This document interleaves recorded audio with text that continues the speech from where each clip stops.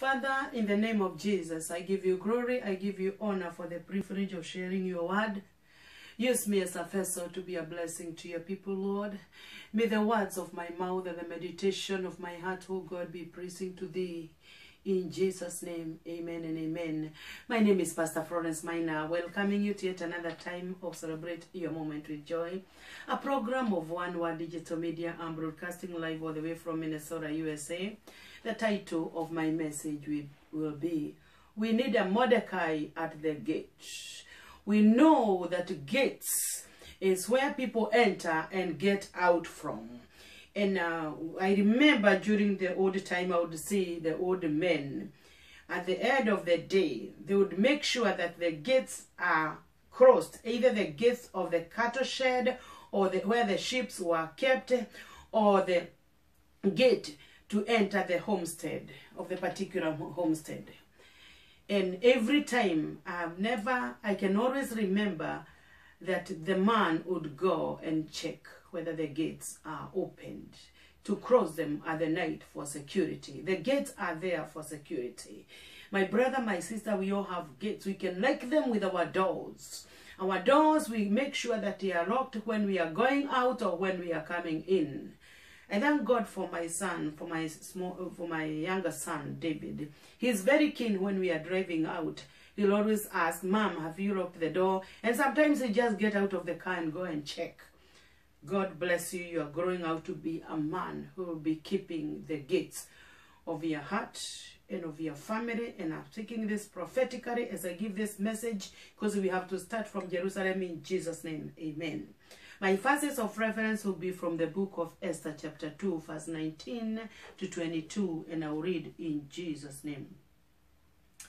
When the virgins were assembled a second time, Mordecai was sitting at the king's gate, but Esther had kept secret her, her family background and nationality just as Mordecai had told her to do.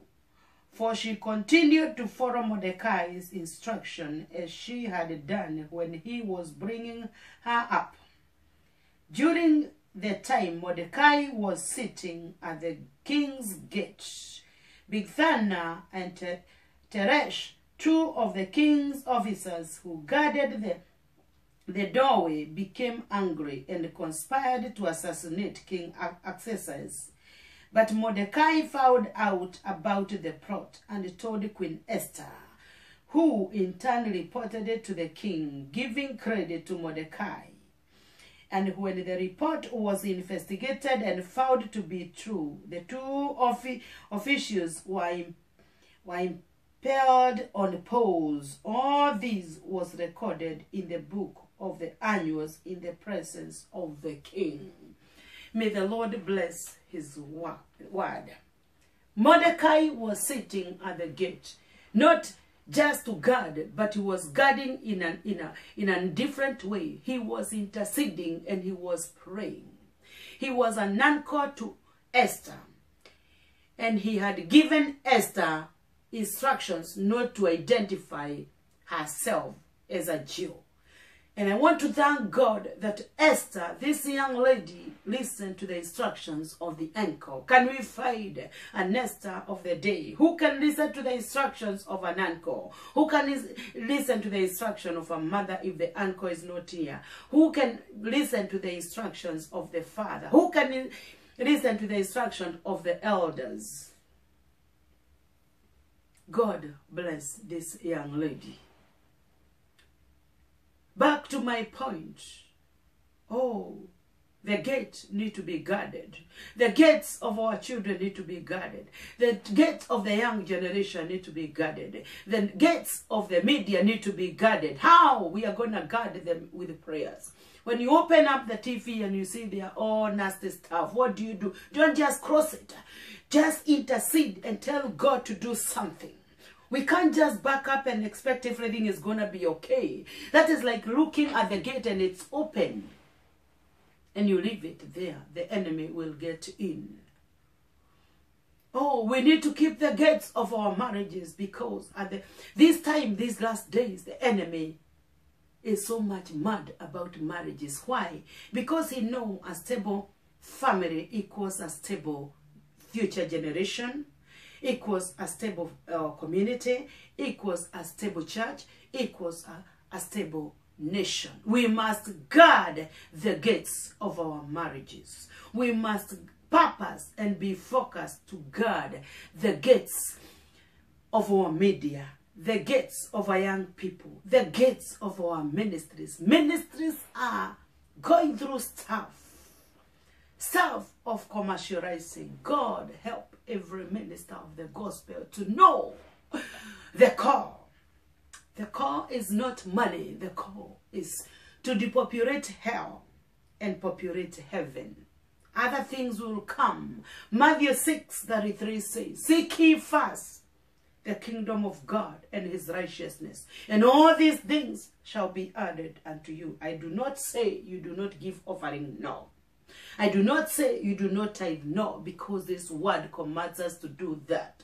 But we must be careful not to idolize what is being given other than worshiping our God and serving him with our whole heart.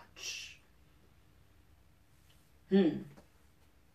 Seeking God, expanding the kingdom and the righteousness. It is costly. And when it is costly, I'm reminded that money or any currency is just but a legal tender.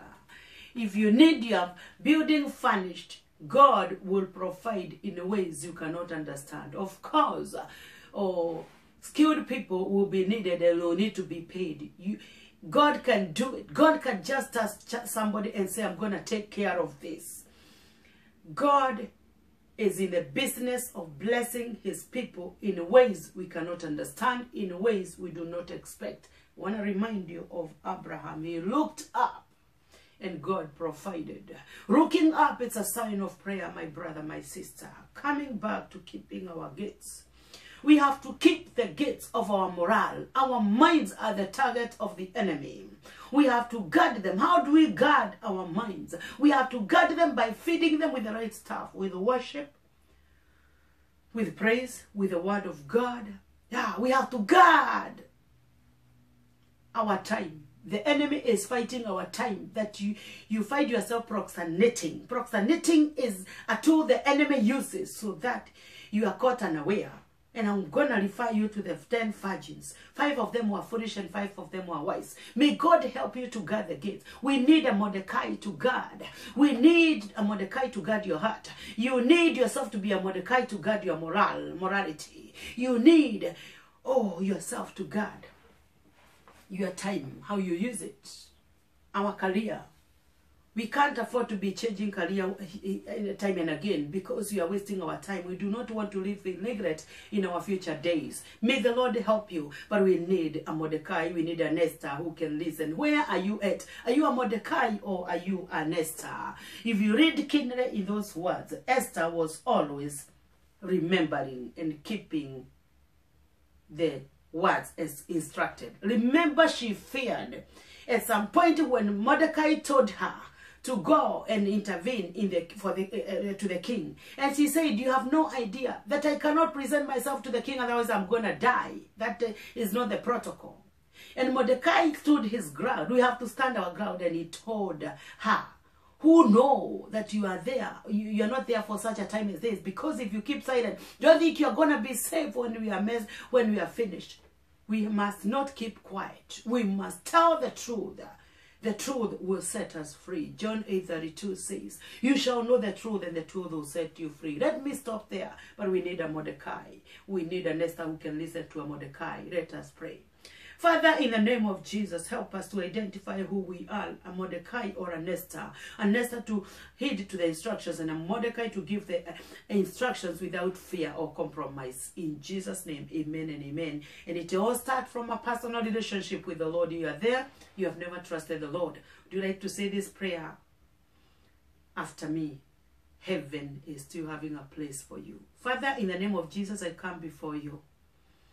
I pray that you help me to listen to the instructions of your word, just like Esther listened to the instructions of his of her uncle.